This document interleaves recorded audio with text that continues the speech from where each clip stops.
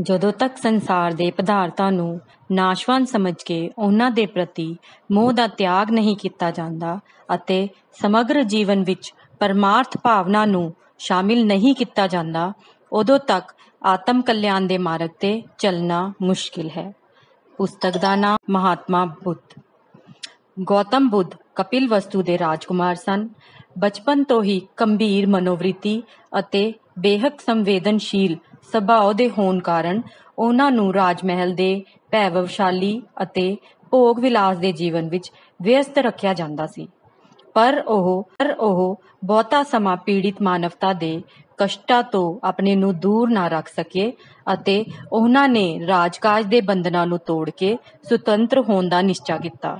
ਉਸ ਸਮੇਂ ਭਾਰਤੀ ਸਮਾਜ ਦੀ ਹਾਲਤ ਬਹੁਤ ਚਿੰਤਾਜਨਕ ਸੀ ਅਤੇ ਅਣਗਿਣਤ ਜਨਤਾ ਨਿਮਨ ਸਤਰ ਦਾ ਜੀਵਨ ਵੀ ਸੀ। ਯਗ ਸਮਾਰੋਹ ਧਾਰਮਿਕ ਭਾਵਨਾਵਾਂ ਨੂੰ ਵਧਾਉਣ ਦੀ ਬਜਾਏ ਇਸ ਤਰ੍ਹਾਂ ਤੋਂ ਬੁੱਚੜਖਾਨੇ ਬਣ ਗਏ ਸਨ।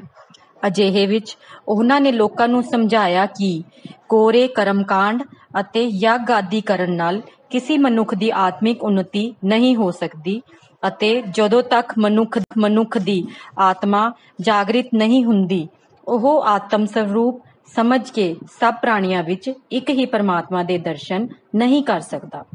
ਉਦੋਂ ਤੱਕ ਉਸ ਨੂੰ ਮੁਕਤੀ ਨਹੀਂ ਮਿਲ ਸਕਦੀ।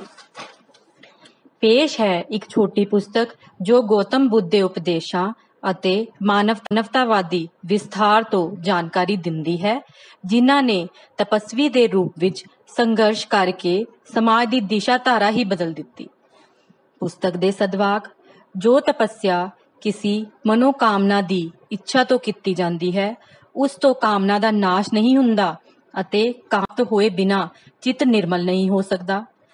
ਜਦੋਂ ਤੱਕ ਮਨੁੱਖ ਅਨੇਕਾਂ ਮਨੋਕਾਮਨਾਵਾਂ ਅਤੇ ਇੱਛਾਵਾਂ ਨੂੰ ਤਿਆਗ ਕੇ ਲੋਕ ਕਲਿਆਣ ਦੀ ਭਾਵਨਾ ਤੋਂ ਧਰਮ ਦੀ ਸਿੱਧੀ ਸਾਦੀ ਸਿੱਖਿਆਵਾਂ ਤੇ ਆਚਰਣ ਕਰਨ ਲੱਗਦਾ ਹੈ, ਤਾਂ ਉਸ ਨੂੰ ਖੁਦ ਹੀ ਗਿਆਨ ਪ੍ਰਾਪਤ ਹੋ ਜਾਂਦਾ ਹੈ। ਸੰਸਾਰ ਨਾਸ਼ਵਾਨ ਹੈ, ਜੋ ਇਹ ਇਹ ਸਮਝ ਲੈਂਦਾ ਹੈ, ਉਸ ਬੁੱਧੀਮਾਨ ਵਿਅਕਤੀ ਦਾ ਚਿੱਤ ਹੀ ਸਥਿਰ ਰਹਿ ਸਕਦਾ ਹੈ। ਮ੍ਰਿਤਿਉ ਨੂੰ ਸਾਹਮਣੇ ਖੜੀ ਦੇਖ ਕੇ ਵੀ ਜੋ ਪਰਉਪਕਾਰ ਤੋਂ ਮੂੰਹ ਨਹੀਂ ਮੋੜਦਾ, ਉਹੀ ਸੱਚਾ ਮਹਾਪੁਰਸ਼ ਅਤੇ ਆਤਮ ਗਿਆਨੀ ਹੈ।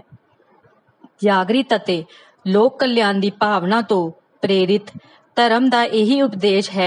ਉਹ ਨਿਰਰਥਕ ਜਾਂ ਦੇਸ਼ ਕਾਲ ਦੇ ਉਲਟ ਰੀਤ ਰਸਮਾਂ ਅਤੇ ਪ੍ਰਾਚੀਨ ਮਾਨਵਤਾਵਾਂ ਨੂੰ ਅਪਣਾਉਣ ਲਈ ਮਜਬੂਰ ਨਹੀਂ ਕਰਦਾ। ਪੁਸਤਕ ਦੇ ਮੁੱਖ ਬਿੰਦੂ, ਗੌਤਮ ਬੁੱਧ ਦਾ ਚਿੰਤਨ ਮਨਨ, ਘਰ ਦਾ ਤਿਆਗ ਅਤੇ ਤਪੱਸਿਆ, ਗੌਤਮ ਬੁੱਧ ਦੇ ਸਿਧਾਂਤ, ਵਿਵੇਕ ਸੰਗਤ ਧਰਮ ਦੀ ਸ਼੍ਰੇਸ਼ਟ ਹੈ, ਬੁੱਧ ਧਰਮ ਦਾ ਫੈਲਾਓ ਅਤੇ ਪਤਨ।